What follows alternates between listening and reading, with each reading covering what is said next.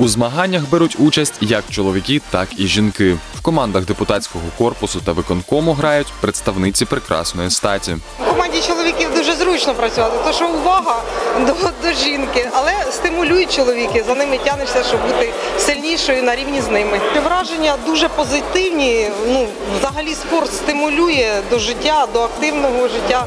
Для рятувальників дуже важливо перебувати у хорошій фізичній формі. Подібні заходи дають можливість не тільки втамувати спортивний інтерес, але й демонструють, в якому стані наразі перебувають працівники.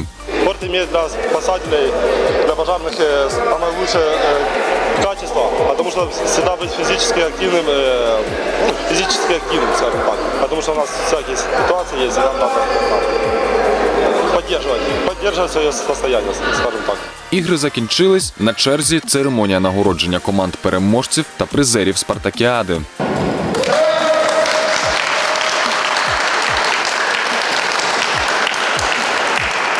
За підсумками турніру, перше місце посіла команда виконкому. Другими стали працівники Довгинцівського відділення поліції, а третіми рятувальники. Депутати відстали від призерів менш ніж на бал.